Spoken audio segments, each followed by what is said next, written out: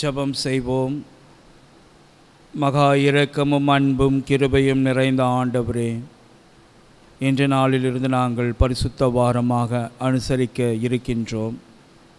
ஆம் ஆண்டவரே இன்றைக்கு உலகம் முழுவதுமாக தகப்பனே தூய்மையாக இருங்கள் என்று எங்களை வற்புறுத்தி கேட்டுக்கொண்டிருக்கிறார்கள் விழித்திருங்கள் விலகியிருங்கள் வீட்டில் இருங்கள் என்று சொல்லி தகப்பனே எங்களுடைய தொற்று நோய்களிலிருந்து நாங்கள் பாதுகாத்து கொள்ள கூடிய ஒரு பெரும் எச்சரிக்கை தந்திருக்கிறார்கள்.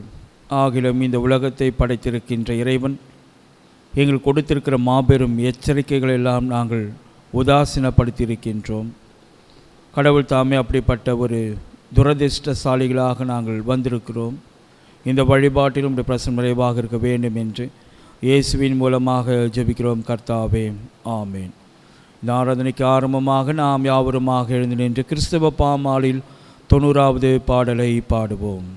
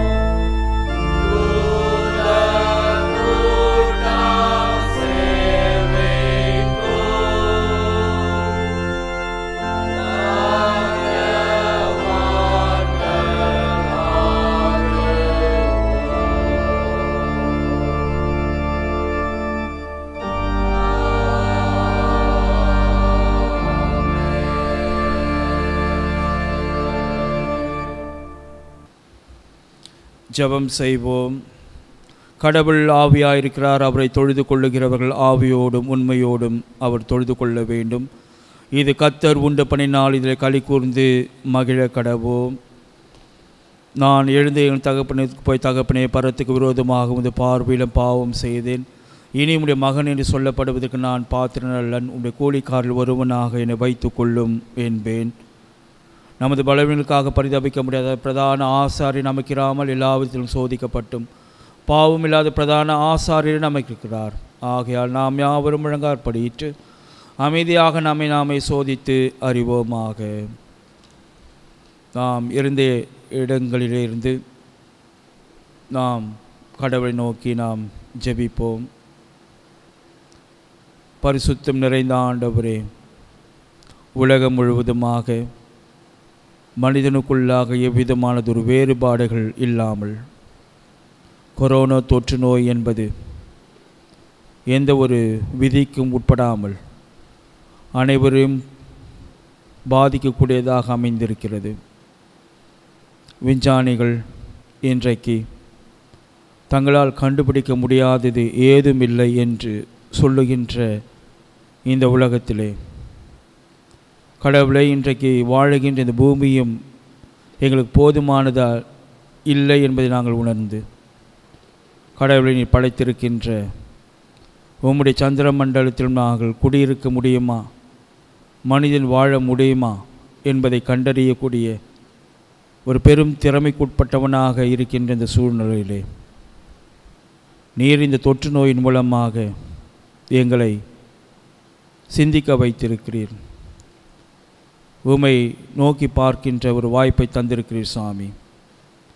எங்களுடைய அவலங்களை நீர் மன்னித்தருள வேண்டும் என்று இயேசுவின் மூலமாக ஜெபிக்கிறோம் கர்த்தாவே. ஆமேன். வேத பாடம் வாசிக்க கேட்போம். வாசிக்கும்படியாக கொடுக்கப்பட்ட வேத பகுதி மார்க்கு பதினொன்றாம் அதிகாரம் வசனங்கள் பதினொன்று முதல் பதினான்கு முடிய. மார்க்கு பதினொன்றாம் அதிகாரம் வசனங்கள் பதினொன்று முதல். அப்பொழுது இயேசு எருசலேமுக்கு வந்து தேவாலயத்தில் பிரவேசித்து எல்லாவற்றையும் சுற்றி பார்த்து சாயங்காலமான போது பன்னிருவரும் கூட பிரித்தானியாவுக்கு போனார். மறுநாளிலே அவர்கள் பிரித்தானியாவிலிருந்து புறப்பட்டு வருகையில் அவருக்கு பசி உண்டாயிற்று. அப்பொழுது இலைகள் உள்ள ஒரு அத்தி மரத்தை தூரத்திலே கண்டு அதில் ஏதாகலும் அகப்படுமோ என்று பார்க்க வந்தார். அத்தி பல காலமாய் இராதபடியால் அவர் அதனிடத்தில் வந்தபோது அதில் இலைகளை இல்லாமல் வேறொன்றையும் காணவில்லை. அப்பொழுது இயேசு அதை பார்த்து இது முதல் ஒரு காலம் ஒருவனும் உன்னிடத்தில் கனியை புசியாதிருக்க கடவன் என்றார். அதை அவருடைய சீசர்கள் கேட்டார் என்பதே பாடம் முடிந்தது தேவனே உமக்கே மகிமை உண்டாவதாக. ஆமீன்.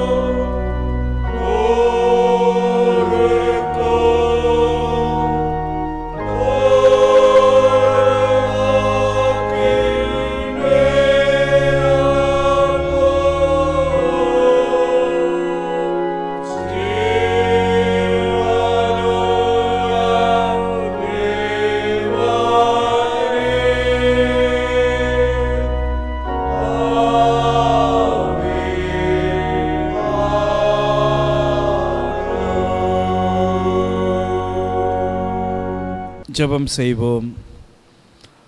கண்மலையும் மீட்பெருமான கர்த்தாவே எங்கள் வாயின் வார்த்தைகள் எங்கள் இறுதி தியானம் சமூகத்தில் எப்பொழுதும் மகிழ்ச்சியோடு இருப்பதாக.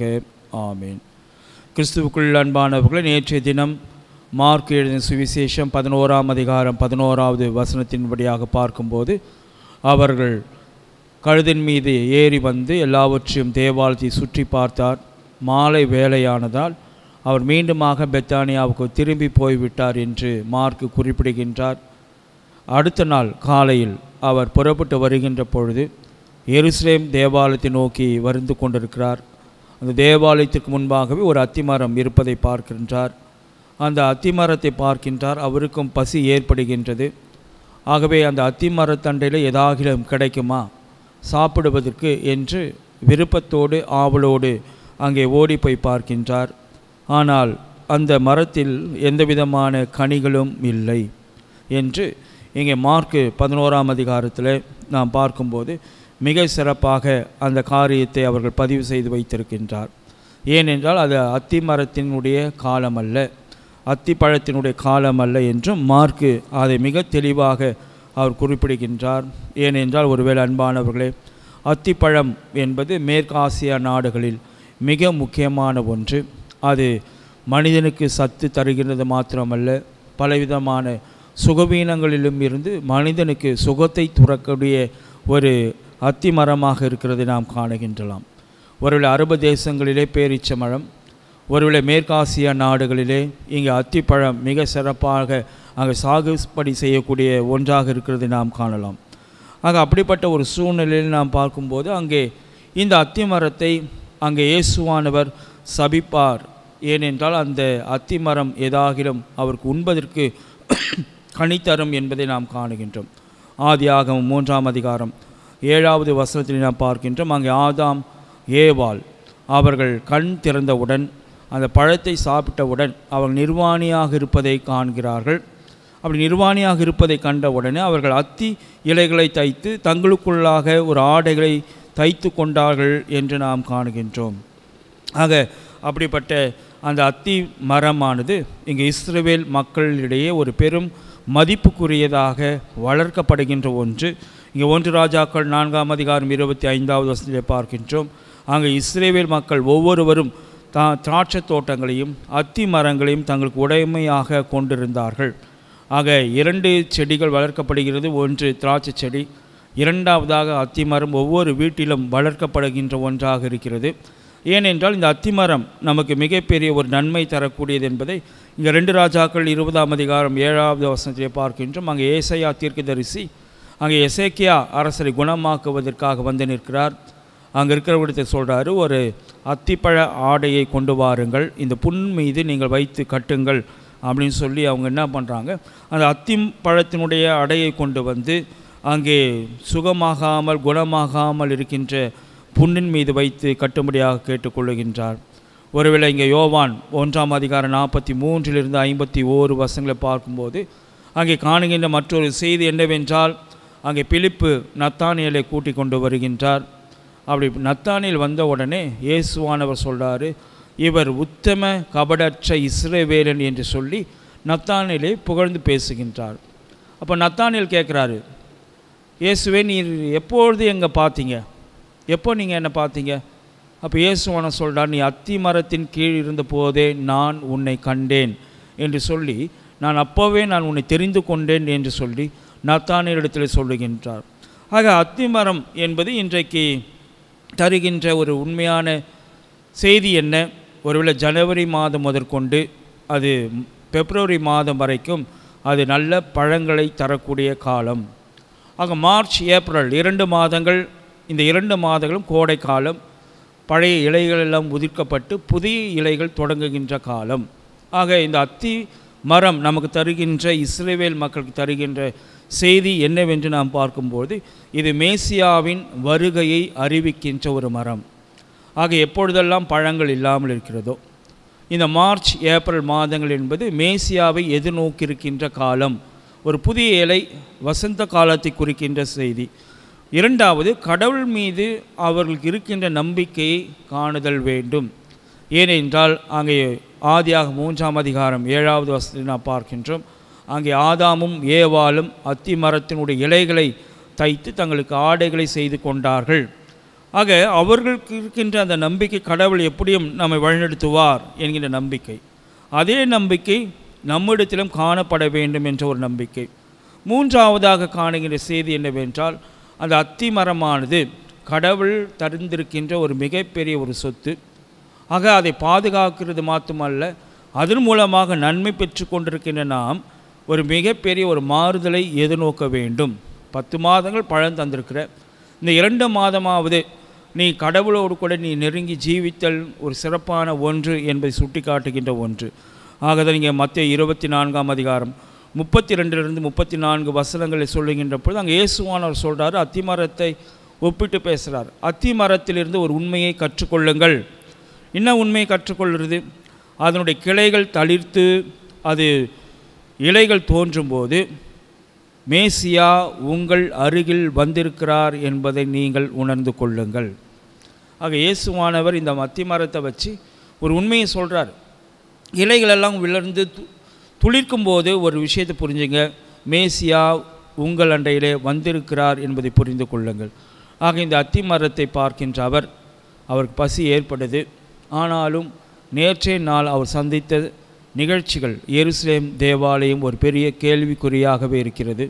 ஏனென்றால் கடவுளால் அங்கே படைக்கப்பட்ட அந்த மனிதனானவன் மனிதன் வழிபடுவதற்காக தரப்பட்ட அந்த தேவாலயமானது இன்றைக்கு விற்பனை கூடமாக மாறியிருப்பதைக் கண்டு அவருக்கு மிகுந்த வருத்தம் கோபம் எரிச்சல். இதையெல்லாம் பார்க்கும்போது அந்த அத்திமரத்தின் மூலமாக இந்த மக்கள் என்னதான் புரிஞ்சுன்னு இருக்கிறாங்க. இந்த மக்களுக்கு இந்த அத்திமரம் ஒரு பெரிய ஒரு அடையாள குறியீடாக இருந்தது.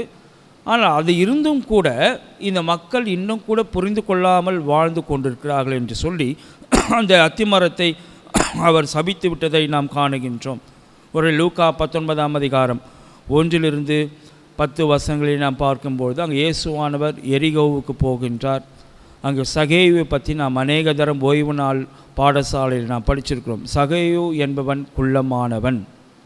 ஆகதான் அவன் மரத்தின் மீது ஏறினான். எதற்கு என்றால் இயேசுவை காண்பதற்காக என்று சொல்லி இந்த சிறு கதையின் மூலமாக ஒரு மாபெரும் ஒரு உண்மையை மறைக்கப்பட்டிருக்கிறது. ஆக சகேயு குள்ளமானவன் அது ஒரு பக்கம் இருக்கலாமா இருக்கக்கூடாதா என்பது அல்ல உண்மையான சம்பவம் என்னவென்றால் இங்கே பத்தொன்பதாம் அதிகாரம் இரண்டாவது வசதியில் நான் பார்க்கணும் சகேயு என்பவன் வரி தண்டுபவன். ஆக இந்த வரி தண்டுபவர்கள் யூதர்கள் மத்தியில் வெறுப்புக்குள்ளானவர்கள். அவர்கள் அந்த சமயத்திலிருந்து விலக்கி வைத்தாங்க. அவர்கள் யாருடனும் பேசவும் கூடாது. அவர்கள் அந்த பட்டணத்தில் இருக்கிற கடையில் பொருட்கள் கூட வாங்க முடியாது தொழுகைக்கும் வர முடியாது. அவருடைய மனைவி அவருடைய பிள்ளைகளோடு கூட யாருமே பேச மாட்டாங்க. ஏனென்றால் வரி தண்டவர்கள் எப்படிப்பட்டவர்? மத்திய ஒன்பதாம் அதிகாரம் பதினோராவது வசனத்தில் நான் பார்க்கின்றோம். உங்கள் போதகர் வரி தண்டுபவரோடும் பாவிகளோடும் உணவு அருந்துவது ஏன்? உங்களுடைய போதகர் ஏன் வரி தண்டுபவரோடு உணவு அருந்துறாரு? ரெண்டாவது பாவிகளோடு. அப்போ பாவிகளோடு தான் வரி தண்டுபவர்கள்லாம் அந்த லிஸ்ட்டில் சேர்த்துட்டாங்க. ஆக சகையு அவன் ஒரு செல்வந்தன்.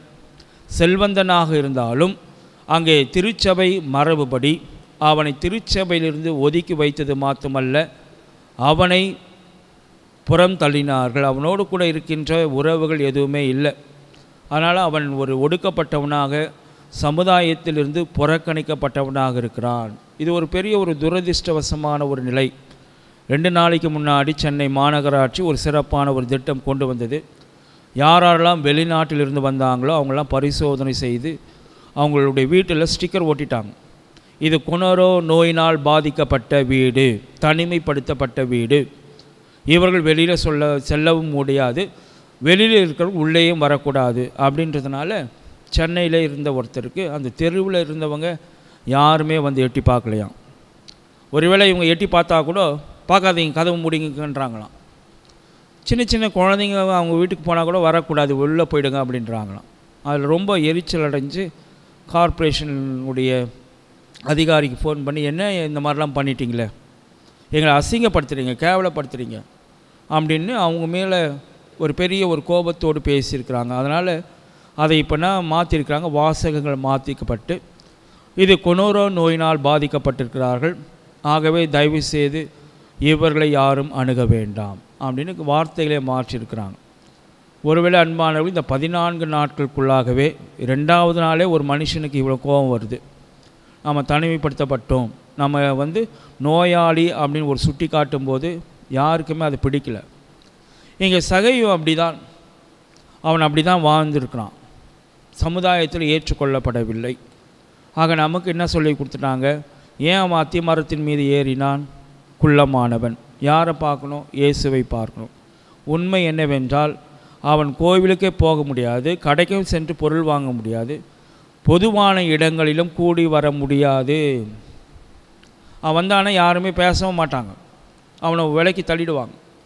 அப்போ யார் பக்கத்தில் நிற்க முடியாதுன்னா அவன் என்ன தான் பண்ணுவான்? இயேசுவை பார்த்து தான் ஆகணும். ஆகவே அவன் அத்தி மரத்தின் மீது ஏறினான். இங்கே இயேசுவானவர் அந்த எரிகோ பட்டணத்துக்குள்ளே வந்த உடனே சகேவியை பார்க்குறாரு. எல்லாரும் அவரை கூப்பிட்றாங்க எங்கள் வீட்டுக்கு வாங்க எங்கள் வீட்டுக்கு வாங்க. சகைவை பார்த்தவுடன் அவர் சொல்கிறார் சகைவ் கீழே இறங்கி வா. நான் இன்றைக்கு உன் வீட்டிலே தங்கப் போகின்றேன். உடனே அவங்கெல்லாம் சொன்ன வார்த்தை இவன் பாவியாயிற்றே. இவன் வீட்டில் போய் இவர் தங்கலாமா? ஏழாவது வசனம். இவர் வீட்டில் போய் இவர் தங்கலாமா? இவன் ஒரு பாவியாச்சே. ஆக தான் இயேசுவானவர் சொல்கிறார் நான் யாரை தேடி வந்திருக்கிறேன்? பாவிகளை தான் நான் தேடி வந்திருக்கின்றேன். ஆக யாருக்காக மருத்துவர் தேவை? நோயாளிகளுக்கு தான் மருத்துவர் தேவை. ஆக காணாமல் போன ஆடுகளை தேடி தான் நான் வந்திருக்கின்றேன் என்று இயேசுவானவர் வெறும் வார்த்தையோடு கூட நின்று விடுகின்றவர் அல்ல. இங்கே சகையு புறக்கணிக்கப்பட்ட ஒரு மனிதன் பாவியானவன் என்பதை அறிந்தும் அவனை கூப்பிட்றாரு நீவா அவன் வந்த உடனே ஒரு செய்தி சொல்கிறான் என்ன சொல்கிறான்னா ஆண்டவரே நான் யாரிடமாவது நாளத்தனையாக வாங்கியிருந்தால் அதை நான் என்ன பண்ணுறேன் திருப்பி கொடுத்துட்றேன். ஏழைகளுக்கு நான் என்ன பண்ண? தானம் பண்ணுறேன் எல்லாத்தையும் கொடுக்குறேன். ஒரு அன்பானவர்களே அவனை தேடி ஒருத்தர் வந்திருக்கிறார். அவனுக்கு தெரியும் இவர்தான் உண்மையான மேசியா கடவுளுடைய குமாரன். அவர்கிட்ட போய் சொல்ல வேண்டிய அவசியமே இல்லையே. நான் யாரிடமாவது நாளத்தனையாக வாங்கியிருந்தால் நான் திருப்பி கொடுத்துட்றேன் அப்படின்லாம் சொல்லணும்னு அவசியம் கிடையாது. ஆனால் சகையு இயேசுவை பார்த்த பார்வை வேறு. அவர்தான் கடவுளுடைய குமாரன் என்று நம்பினான். அவர் கூப்பிட்ட உடனே கீழே இறங்கி ஓடோடி வந்து போய் நிற்கிறான். அவன் குடும்பத்திலே ஒரு பெரும் மகிழ்ச்சி. ஆனால் மற்றவர்களுக்கும் அது ஒரு பெரிய அதிர்ச்சி. ஏனென்றால் பாவியானவர்கள் என்று அவர்கள் ஒதுக்கி வைத்திருக்கிறார்கள். ஆனால் கடவுள் யாரையும் பாவி என்று தீர்மானித்து விடக்கூடியவர் அல்ல. யாரையும் நேசிக்கக்கூடியவர் எவர் ஒருவரையும் நேசிக்கக்கூடியவர். ஆகவே அவன் சொன்னான் நான் எல்லாத்தையும் திருப்பி கொடுத்துட்றேன் சாமி. உடனடியாக இயேசுவான சொன்னார் இன்றைக்கு இந்த வீட்டிற்கு ரட்சிப்பு வந்தது. இவனும் ஆபிரகாமின் மகனாக இருக்கின்றான். ஒருவேளை அன்பானவர்கள் இன்றைக்கு அந்த அத்திமரம் ஒரு நம்பிக்கை தந்திருக்கிறது.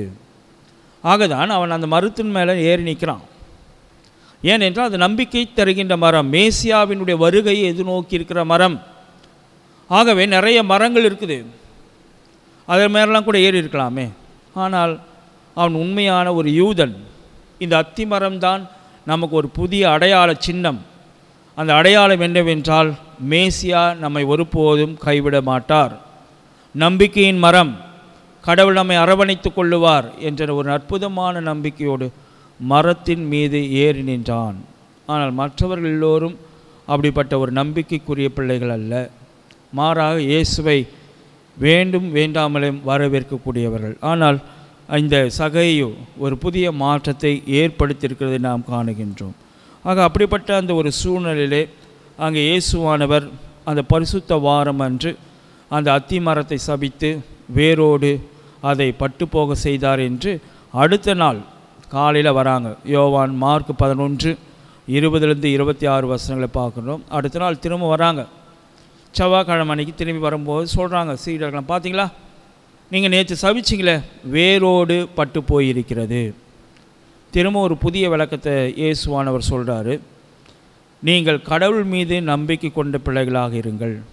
ஒருவேளை கடுகளவு நம்பிக்கை இருந்தாலும் இந்த மலையை பார்த்து பெயர்ந்து இந்த சமுத்திரத்தில் விழுந்து போ அப்படின்னு சொன்னால் கூட விழுந்துவிடும்.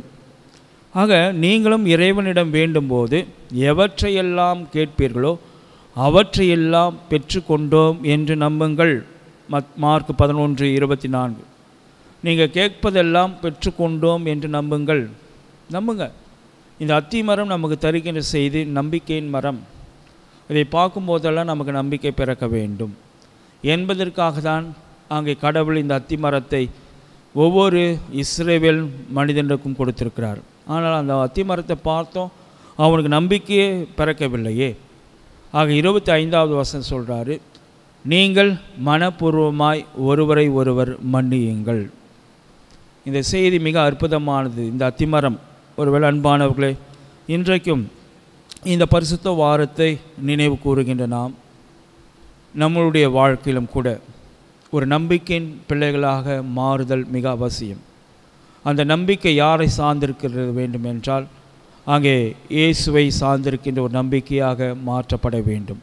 ஆக இன்றைக்கு இருக்கின்ற இந்த சூழ்நிலைகளிலே நம்மை பாதுகாக்கின்றவர் வாழ்வளிக்கின்றவர் அந்த இயேசு என்பதை மறக்க வேண்டாம். அவர் மீதே நம்முடைய கண்களை பதிய வைப்போமாக. ஆமேன். ஜபம் செய்வோம். மகா இரக்கமும் அன்பும் கிருபையும் நிறைந்த ஆண்டவரே அத்திமரம் எங்களுக்கு ஒரு புதிய அனுபவத்தை தந்திருக்கின்றது. அந்த அத்திமரத்தம் ஒரு நம்பிக்கையின் அடையாளம் என்பதை நாங்கள் உணர்கின்றோம். ஆனாலும் அந்த யூதர்கள் புரிந்து கொள்ளவில்லை. அசட்டை பண்ணினார்கள். அந்த மரத்தை இயேசுவானவர் சபித்து அந்த மக்களுக்கு முன்பாக அவருடைய நம்பிக்கை இப்படியாக இருக்கிறது என்று சொல்லி வெறுக்கக்கூடியவராக மாறினார். சகையை போன்று நாங்களும் நம்பிக்கை கொண்ட பிள்ளைகளாகவும் நாடி தேடி வர இறைவார்கள் தாரும்.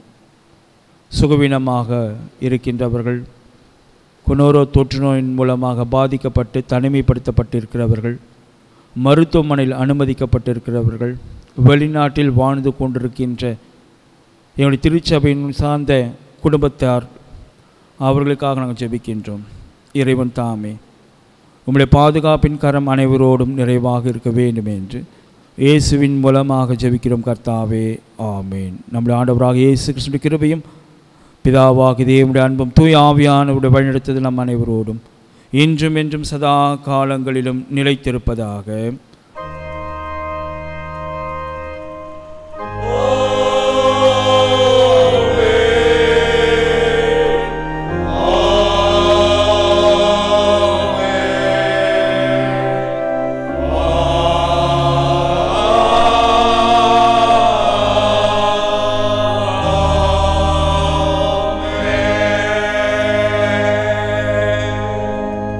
நம்முடைய ஆராதனைக்கு முடிவாக பாமாலையில் எண்பத்தி எட்டாவது பாடலை பாடுவோம்.